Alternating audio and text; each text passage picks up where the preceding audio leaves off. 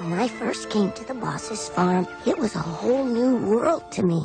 Everyone here seemed to know their place. The boss and his wife, the sheepdogs, the sheep, and all the other animals.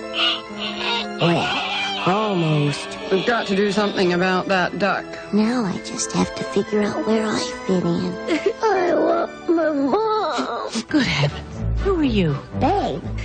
There, there. The little pig's a bit low. He's going to sleep with us. But Mom, he'll wet the bed. What are you? You. Pig. What are you? I'm a you. A you. This is the story of a brave soul Hello, sir. Get out of here. Oh. Oh. who was trying to find his destiny. Can I learn how to work the sheep today?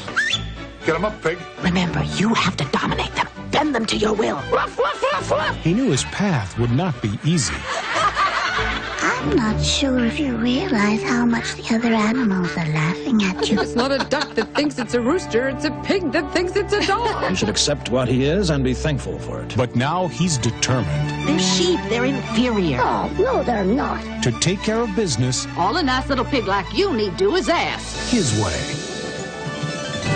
Thanks very much. It was very kind of you. A pleasure. What a nice little pig.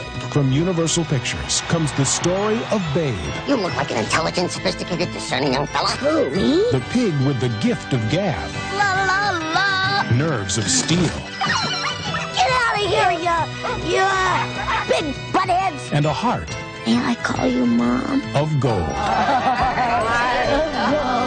Babe,